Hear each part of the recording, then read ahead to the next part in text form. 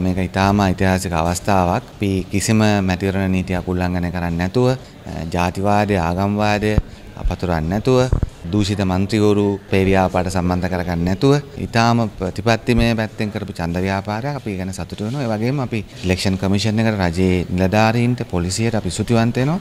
මහ ජනතාවටත් එක්කම ඊටාම සාමකාමී විදිහට ලංකාව ගැන විශ්වාසයක් ලෝකෙට හදන්න පුළුවන් විදිහට සාමකාමීව මේ ඡන්දෙදි හැසිරෙච්ච එකක්. නීත්‍ය අනුකූල ප්‍රතිඵල නිකුත් කරාට පස්සේ අනුර සහෝදරයා විසින් ජනාධිපති ධූරයේ දියුණුම් දීලා ඊට පස්සේ කළ යුතු පියවර අපි සලස්මක් හදන් තිබෙනවා. ඒ සලස්මට අනුව ඔහු ඉතාම ඉක්මනින් රටේ ස්ථාවරභාවය හදන්නත් ඒ වගේම ඉදිරි දේශපාලන කටයුතු වලට යන්නත් බලාපොරොත්තු මම හිතන්නේ අපි කලින්මත් පාක්ෂිකන්ට කිව්වා මේ ජයග්‍රහණ විසාමකාමීව භුක්ති විඳිමු. රටේ අනිත් අයට හිරියරක් වෙන්නේ නැති විදියට කියලා. මම හිතන්නේ ඔබ කවුරුත් දන්නවා දැන් මේ ප්‍රතිඵල එද්දී වෙනද නම් විශාල අතිඤ්ඤපත්තු කරනවා වගේ සිද්ධ වෙනවා. මේ පාර එහෙම නැහැ ඒ නිසා අපි පාක්ෂිකයොත් මේ ප්‍රතිඵලේ බර තේරුම් අරගෙන අනිත් අයට හිරියර කිරීමට හෝ අනිත් අයට කිසියම් සිත්‍ර දීමක් කිරීම කිසි කෙනෙක් කටයුතු කළා නැහැ ඉතින් ඒක අපි හිතන්නේ හොඳ ආරම්භයක් කියලා හොඳ ප්‍රවේශයක් කියලා.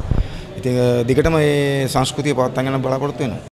මේ මැතිවරණ ජයග්‍රහණයත් ජාතික ජනබලවේගේ පෙන්නපු දේශපාලන සංස්කෘතිය වගේම ජනතාවත් එක්ක සතුටින් මේ ජයග්‍රහණය භුක්ති විඳින්න. නිසා කිසියෙකුට හානියක් නොකර ඔබ අද ජාතික ජනබලවේගයට ඡන්දය නොදුන්නා නම් හෙට ඔබ ජාතික ජනබලවේගයත් සමග අත්වැල් බැඳගෙන මේ රට ගොඩනගන ගමනට අත්වැල් බැඳ ගන්න කියන ආරාධනය අපි කරනවා. මේ රටේ මහජන මුදල් හොරා කාපු මහජන ධනෙ කොල්ල කාපු කිසි කෙනෙකුට කිසිදු සමාවක් නැහැ මේ රටේ ජනතාව දුක් විඳේ නිසා. මහ බැංකු බැඳුම් කර වංචාවේ සිට පාස්කු ප්‍රහාරයේ සිට එවගේම බාර්ලයිසන් බෙදනේ වගේ සිට මේ රටේ භාණ්ඩාගාරයට යන්න සල්ලි හොරාකාපු මිනිස්සු. ඒ ඒ දූෂිතයන්ට අදාළව නීතිය ක්‍රියාත්මක කිරීම මේ රටේ අධිකරණ තුළ ක්‍රියාත්මක කරන ජාතික ජනබලවේගයේ කටයුතු කරනවා.